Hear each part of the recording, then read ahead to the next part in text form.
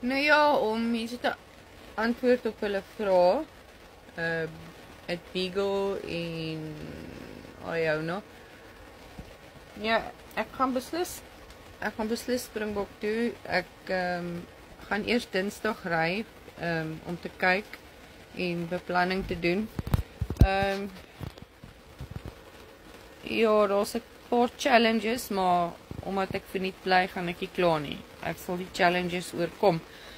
Ek sal vir julle video maak van my nuwe plekkie Dinsdag as ek daar is en sommer 'n paar lekker roadtrip video's dan die poppy wat die plek aanbied het vir my gesê sy sal my help met dieselgeld om na die plek te gaan kyk. Wonderlik. Yes, lyk like my die Namakolanders is fantasties. Het 'n ouetjie my gebel vandag en vir my gesê hy's hy ken um, Springbok baie baie baie goed en um, hy sê ek sal nie 'n fout maak nie. En hy ken toevallig die mense. Ek kry seker gaap aanvalle dan pos ek die video.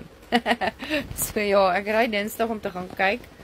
En ehm um, ja nee, ek sal julle op hoogte hou beslis.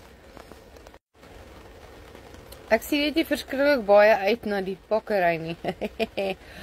Ugh, Jesus, die ergste is om hierdie tent wat nou al so lank in hierdie son staan, as die stormstraps geperish het, dan wonder ek hoe, hoe gaan die tent hier uit hierdie gleufie uitgly. Uh, as julle na my eerste video's gekyk het of van my eerste video's sal julle onthou, ek het gesukkel om om deur die gleufie te kry want die gleufies is gebuig. Ek moes dit met 'n tang probeer regmaak om die tent deur die gleufie te gly. So ek koop nou nie ek skeer die dam ding as ek hom uittrek nie en ek koop die weer is 'n bietjie koeler die dag as ek oppak. My grootste bekommernis is maar net die wiele. Ek hoop maar net die wiele hou. Dit is maar baie baie stadig ry tot daar.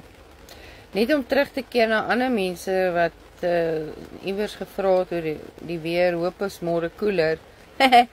Dis môre 42 grade en sterk wind en 'n baie groter kans op donderbuie laatmiddag môre.